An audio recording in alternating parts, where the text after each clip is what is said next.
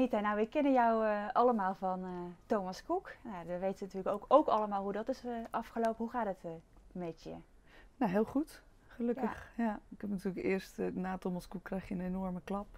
En dat, dat geldt denk ik voor al mijn oud-collega's. Ja. Um, en ik heb drie maanden thuis gezeten. En gelukkig kwam al vrij snel Belvila om de hoek. Ja. Die, uh, die op zoek waren naar iemand die vooral PR voor het merk ging doen. Ja. Um, en dat heb ik aangenomen. En uh, ja, dat is een, ik vind het een ontzettend leuk bedrijf met hele leuke mensen. Ik heb er natuurlijk maar twee maanden echt ja. fysiek aanwezig mogen zijn. Gelukkig wel een heleboel mensen leren kennen en toen kwam corona.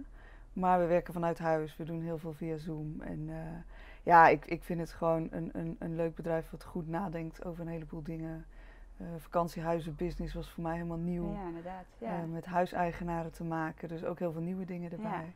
Maar wel nog steeds in de reisbranche en dat uh, ja, bevalt me heel goed. Hoe loopt de verhuur van de vakantiehuizen voor deze zomer? Ja, heel goed. Ja. Ik denk dat wij um, half april of zo kregen we wel in de gaten van... mensen gaan niet de hele zomer thuis zitten, als ze dat al hebben gedaan met hun kinderen, thuisscholing, mhm. thuiswerken en dan ook nog in de zomer, zes weken zomervakantie met die kinderen op hun lip, dat gaan ze niet doen. Dus wij zeiden van nou, het liefst willen mensen natuurlijk gewoon hun eigen bubbel, wordt dat heel vaak genoemd, mhm. naar een andere omgeving verplaatsen, zodat ze wel in een andere omgeving kunnen fietsen, wandelen. Uh, vaak hebben onze huizen natuurlijk grote tuinen, kunnen ze barbecuen. Uh, ze kunnen naar het strand, ze kunnen naar nou ja, allerlei andere omgevingen. Ja. Dus we zeiden van nou, dat, dat gaat denk ik wel heel erg hard lopen. En uh, nou, dat is ook gebleken, dat is nu, uh, het reist de pan uit. Ik denk dat je in Nederland uh, geen huis meer kan huren voor nee. het hoogseizoen. Nee. En de landen om, om, om, ons heen, gaan die ook hard? Ja. ja, wat we toen op een gegeven moment gingen zien is, Belvilla is natuurlijk niet gewend om de huizen zeg maar buiten Nederland vaak aan andere mensen te verhuren. Duitsers en Belgen dat dan wel. Maar verder is onze merknaam nog niet zo bekend. Dus we zijn echt gaan werken aan Spanjaarden in Spaanse huizen, Italianen in Italiaanse huizen, Fransen in Franse huizen. En op die manier, die manier het lokale ja. uh, toerisme te promoten. En dat had wat voeten in aarde, maar dat, uh, ja, dat is nu wel echt, uh, dat zien wij nu echt gebeuren. Daarom heb je daar ook groeicijfers voor ons bedrijf die echt extreem zijn. Kijk, en, en Nederlanders kiezen vooral voor, de, voor Nederland? Ja, Nederlanders kiezen vooral voor Nederland. Je ziet echt een enorme stijging daarin. Ja zodra de grenzen open gingen, 15 juni, merkte je ook wel dat heel veel mensen um, uh, ook wel weer over de grens wilden. Dus dan zag je toch België, Duitsland, maar ook wel naar Frankrijk en naar Spanje. Dat mensen gingen boeken, Italië. Um, maar niet wat wij gewend zijn. Okay. Dus, dus daar zie je echt dat er heel veel mensen gekozen hebben voor ja, lokaal echt in Nederland blijven. ja. ja. Is dat ook omdat uh, ja, Nederland natuurlijk makkelijker aan te rijden is met hun eigen auto en geen vliegtuig? Ja, ja. ik denk dat mensen toch het zekere voor het onzekere gekozen hebben, grotendeels. En gezegd hebben van nou, dan gaan we lekker met de auto. We hoeven, niemand, we hoeven nergens komen we in een gevarenzone of hoe ze dat dan ook zien. Ja. Je merkt het ook uh, als je aan de telefoon zit, dat mensen gewoon heel veel extra vragen hebben, heel veel onzekerheden hebben, heel veel angsten hebben. En, dat, um, en daar kan je, ik, ik kan daar geen antwoord op geven, mijn collega's net zo min. Maar ja, dan geef je natuurlijk wel als antwoord, ja, wilt u echt het zekere voor het onzekere? Dan zou ik in Nederland blijven. Ja. En geluk dat we hebben is dat het weer echt goed is. Niet altijd, maar we hebben best een aardige zomer en een heel mooi voorjaar gehad. Dus ja, dat scheelt ook nu wel. Dat mensen zeggen van nou, ik vind het niet erg om in Nederland te blijven. Ja, hoe ziet jullie uh, annulerings- uh, slash omboekingsbeleid eruit? Uh, op het moment hanteren we het normale ja. omdat er eigenlijk in principe niks meer is wat niet zou kunnen. Uh, maar we hebben natuurlijk gedurende uh, de crisis hebben wij continu gekeken van wat, wat zeggen de autoriteiten in de verschillende -hmm. landen. En daar, als ze bijvoorbeeld aangaven tot een x-datum uh, mag er niemand uh, het land in. Dan hebben we tot die datum geannuleerd. Ja. Maar we hebben dus steeds een stukje vooruitgeschoven tot een nieuwe datum uh, genoemd werd. En als er geen datum genoemd werd, dan annuleerden we vier, vijf dagen van tevoren. Dus vrij laat. Ja.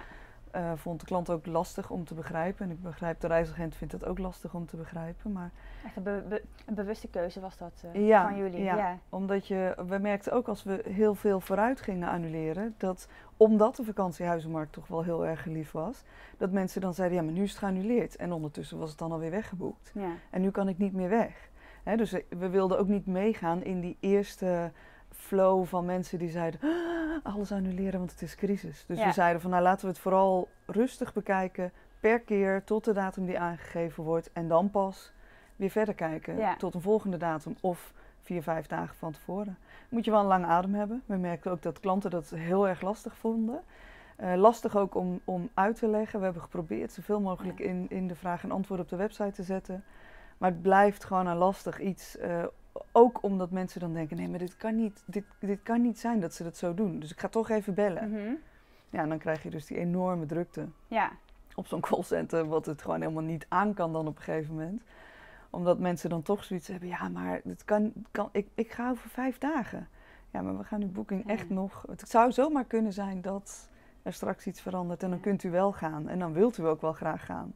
En we hebben ook heel veel mensen gehad die ehm, eh, ons daarna ook wel gemaild hebben of, of even iets op een andere manier een berichtje hebben gestuurd en zeiden: Ik ben zo blij dat u mijn boeking niet al weken van tevoren eruit hebt gegooid. Ja. Inderdaad, dat heb je dan ook, ja. ja. Je zei net al eventjes over de drukte, de callcenter. Uh, Dus daardoor uh, konden reisagenten jullie ook niet uh, bereiken. Tenminste, dat zijn veel klachten die wij hebben mogen ontvangen op, de, op de redactie van uh, is onbereikbaar. En ja. Is dat inmiddels opgelost? Of, Ja, wat we hebben gedaan op een gegeven moment is zo begin, begin juni zijn we gaan opschalen. Maar het, het vervelende is, en dat zal iedereen wel begrijpen, is je kan iedereen aan de telefoon zetten. Ik kan ook de telefoon opnemen. En dan kan ik in ons systeem kijken en ik kan een boeking zien, maar ik kan daar verder niks mee. Ik kan wat basishandelingen, maar ik kan natuurlijk niet hetzelfde als dat een collega op een customer service kan. Um, dus we hebben wel, wij noemen dat dan heel mooi een triage team, ook een woord wat we hebben geleerd in de crisis. Hè? Een soort van receptiedesk met mensen die nieuw waren aan de telefoon. Die konden dan de eerste vragen van de klant uh, beantwoorden of in ieder geval aanhoren dan moesten ze toch weer een melding maken aan, naar een collega die iets moest aanpassen in de boeking. En ehm, nu zijn we begonnen, dat, dat hebben we eerst gedaan in juni, toen mhm. zijn we ook het uh, online response team hebben we opgestart. Dus echt mensen die op social media een, een, persoonlijk bericht hadden achtergelaten, daar gingen we ook om vragen. Die hebben we dan ook zoveel mogelijk geholpen. Met ook steeds weer wat mensen met kennis daarachter, die dan alles wat wij daar afhaalden, zeg maar, weer oplosten. Zo hebben we de eerste weken in juni echt heel hard zitten werken. Uh, en nu zijn we ook heel erg bezig met trainingen. Dus mensen ook echt trainen op meer kunnen in het systeem, meer kunnen zien, meer zelf kunnen oppakken, meer zelf kunnen oplossen. Ja. Maar dat is een, ja, dat is een training. En, en zoals je kan voorstellen is het echt een training van een paar weken. Dat, dat kan niet even. Nee, nee snap ik. En uh, is er iets van een uh, telefoonnummer of een, of een, of een specifiek mailadres juist voor de reisagent? Nee, ik begreep op een gegeven moment wel dat er een aantal reisagenten waren die hadden een of ander nummer ontdekt. Waar, uh, waar ze op konden bellen en daar kwamen ze er blijkbaar wat sneller doorheen. Um, ja, ik heb daar ook verder niet. Uh, ik, ik mocht het uiteraard niet promoten, maar ik heb het verder ook niet uh, gemeld op kantoor. Ik denk, nou, zolang als dat goed gaat en ze worden geholpen, dan ben ik blij voor ze. Ik moet zeggen dat we nu inmiddels op een wachttijd zitten van een kwartier. Dus ik ben blij dat het zover opgelost is. Um, maar het is en blijft, uh, het is en boekingen die al gemaakt waren waar vragen over zijn, uh, boekingen die, waar wat mis is gegaan en heel veel nieuwe boekingen. Waar mensen, mensen hebben echt, ik denk dat je gemiddelde telefoontijd is, is rond vijf minuten, maximaal. En als je dan nu ziet dat een medewerker al gauw een kwartier tot twintig minuten met een boeking bezig is, want een klant heeft zoveel vragen. En dat zal op het reisbureau niet anders zijn. Plus een dossier heb je soms wel vier, vijf keer in de hand. Omdat in maart was het zo, in april was het zo, in mei is het nu en dan juni en, en nu zijn we in augustus en nu is het weer anders. Dus je bent daar steeds mee bezig. Maar er wordt, uh, als ik het zo mag zeggen, wel aan gewerkt voor een eventuele volgende. Ja, er zijn nu meer mensen aan het trainen. En, maar ja, ook dat, het is bijna niet te voorkomen als er weer een tweede golf komt. Uh, dat je dan iedereen uh, behoudt. Want ik denk als je nu iedereen op het callcenter laat zitten en straks komt het winterseizoen, ja, dan zitten we natuurlijk overbevolkt. Dat is natuurlijk ook niet de bedoeling. Maar we gaan wel kijken hoe, hoe kunnen wij kennis binnenhouden, uh, mensen die nu nog minder kennis hebben, goed trainen, uh, juiste mensen binnenhouden, kijken hoe we eventueel vragen en antwoorden anders misschien op de website zouden kunnen zetten, waardoor mensen beter geholpen worden. Kunnen we iets doen met een, uh, een reisagentennummer? Ja. Uh, ja, op ons callcenter in Eindhoven komen echt alle nationaliteiten binnen. Dus moeten we misschien meer uitbreiden in andere nationaliteiten, zodat de Nederlanders ook echt op Nederland kunnen blijven zitten aan de telefoon. Dus het is echt een, um, ja, een ongoing iets, zeg maar, waar we mee bezig zijn. Mhm. Kunnen we meer op social media doen? Moeten we daar het team erop laten zitten? Um, ja, het is wel iets waar we continu mee bezig zijn. We zijn ook op een gegeven moment met vragen en antwoorden ook naar bijvoorbeeld ACM gegaan. Om te zeggen van, joh, kunnen jullie ons helpen? Doen we het zo goed? Zit alles erin? Hebben we alles uh, meegenomen? En zij kwamen ook echt terug van, nou, alles zit erin. Het is zelfs beter dan wij zouden verwachten. Om, om maar hulp te krijgen van welke instantie dan ook. En niet achteraf te horen, ja, maar jullie hadden dit moeten doen en dat moeten doen en dat had erbij moeten staan. En dat was handig geweest voor de klant. Dus we proberen op allerlei manieren uh, voor te bereiden op ja, hopelijk een tweede golf die nooit komt. Hoop ik. Maar ja, je moet wel. Ehm, ik, ik denk dat elke crisis anders is. Ik heb natuurlijk tien jaar lang crisissen gedaan met mhm. Thomas Cook. En uh, iedereen zei altijd: waar is jullie draaiboek? En dan zei ik: ja, maar voor elke crisis zou je eigenlijk bijna een nieuw draaiboek moeten maken. Tuurlijk heb je de basisdingen die altijd mhm. werken, maar elke crisis is weer anders, vraagt om nieuwe regels, nieuwe voorwaarden. En hoe zit het met de prijzen? Zijn, zijn jullie nou ook uh, vraag aanbod uh, zeg maar duurder geworden? Of, uh... We hebben gekeken om dat niet al te veel te doen. Kijk, we hebben wel een systeem waarbij als, als de vraag stijgt, dat het dan wat duurder wordt. En dat, dat hebben we niet uitgezet, maar we hebben wel opgelet dat we niet nu ineens extreem hoge prijzen gingen vragen. Dus zoveel mogelijk wel gebleven op de prijs die we al hadden in ons aan. Maar goed, het hoogseizoen is altijd een vrij prijzige periode. Ja. En dat, ja, dat is die nog steeds. Maar ga je in september, oktober, dan vind je echt uh, normale prijzen. We hebben niet extreme verhogingen doorgevoerd. En zijn er voor die periode ook nog wel vakantiehuizen te vinden? Ja, uh, ja je moet goed zoeken. Maar ehm, ja, wat, wat we natuurlijk ook in het begin zagen, was dat ook huiseigenaren volkomen uh, logische reactie. Dat ze zeiden, ja, maar ik wil ook een paar weken voor mezelf houden, want ik wil er ook uit. Mhm. Dus daar hebben we ook wel met huiseigenaren gesproken of ze toch niet wat meer weken zouden willen verhuren. Maar je, je kan nog wel het een en ander vinden, maar het is, niet, uh, het is niet dat er nog heel veel aanbod staat. Nee. En wordt er met die huiseigenaren ook gesproken over uh, uh, ja, voorzorgsmaatregelen zoals hygiëne, schoonmaken ja, en dat soort... Ja. ja, er is al vrij snel een officieel handboek gemaakt, zeg maar een soort handleiding van wat moet je doen om je huis zo goed mogelijk schoon te maken. wereldwijd heeft um, Oyo, Oyo Vacation Homes zijn wij natuurlijk en Oyo Hotels zijn een samenwerking aangegaan met Unilever. Dus ook die producten worden heel veel in de hotels gebruikt. Onze huiseigenaren uh, krijgen die straks ook. Maar we zijn echt bezig om de huiseigenaren erop te wijzen dat ze gewoon echt beter en, en anders moeten schoonmaken dan dat ze gewend zijn. Mensen, mensen verwachten dat ook. Ja. Ja.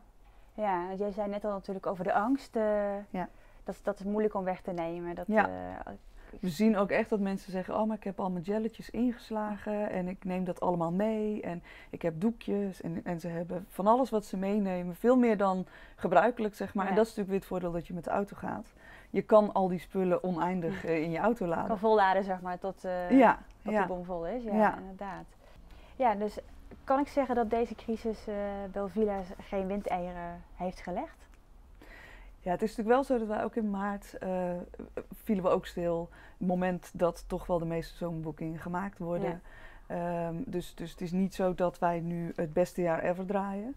Maar ik denk dat we gelijk dat we kunnen zeggen dat we ongeveer gelijk zitten aan uh, vorig jaar. We hebben natuurlijk ook te maken gehad met heel veel onzekerheden en angsten. Waardoor mensen ook hun boeking voor de zomer gingen annuleren. Uh, ook, ook, dat deel hebben wij gehad. Um, mensen die zeiden, ik wil niet afwachten of een grens wel open gaat. Grenzen die ook laat geopend zijn, dus ook huiseigenaren en, en ook hè, wij als Belvilla in het begin van het jaar gewoon weinig omzet hebben kunnen maken. Binnen Nederland natuurlijk wel, maar het is niet te vergelijken. Hè. Je moet ook goed maken wat je normaal over de grens boekt. En dat viel niet mee in het begin. Dat is echt pas later toen we lokaal reizen in al die landen zeg maar, hebben opgestart toen pas kwam dat eigenlijk weer goed op gang. Maar we hebben echt wel ook een, een, ja, een deuk gehad in het begin uh, van het jaar. En daar is wel wat weggevloeid. Dus het is niet zijn zo er dat we. Uh, foutjes uitgegeven ook? Ja, ja, we hadden al wel vrij snel door dat uh, de vouchers die wij uitgaven voor mensen die zeg maar zelf kozen om een boeking te annuleren, dus al verder vooruit, niet onder een force majeure mm -hmm. situatie, die konden wij langer geldig maken. Dus die hebben we allemaal drie jaar geldig gemaakt. En ja, omdat bij ons natuurlijk goed gaat, uh, konden we ook zeggen van joh, weet je, neem dit foutje nu aan. Dan kun je ook in 2021, 2022 of zelfs in 2023 nog op vakantie. Omdat mensen aangaven, ja, maar ik weet niet of ik volgend jaar in een vakantiehuis wil of dan misschien juist weer verder weg wil. Uh, dat hielp heel erg, dat mensen ook zeiden van oké, nou dan geef mij maar zo'n voucher. Ja, en wat wij nu natuurlijk zien, omdat we heel veel lokaal reizen toch wel weer hebben kunnen mhm. opstarten, hebben we ruim 30% van de vouchers wat alweer is gebruikt. Kijk. Voor een nieuwe boeking. Dat is fijn, ja. ja. ja. Wat zijn de verwachtingen voor deze toekomst? Denk je dat uh, het animo uh, voor veilige vakantiehuizen alsmaar meer gaat worden? Nou, ik denk als je het hebt over de nabije toekomst, dan denk ik dat zeker. Ja. Ik, ik, denk dat dit nog wel even aanhoudt. Um, uh, ik, ja, je merkt het ook aan mensen die nu spontaan ook hun huis bij ons komen aanbieden. Hè? Van, ik, ik heb ook een, nog een vakantiewoning en ik heb dat nog nooit verhuurd, maar kom nu toch bij jullie. We hebben heel veel nieuwe huiseigenaren ook, nieuwe huizen.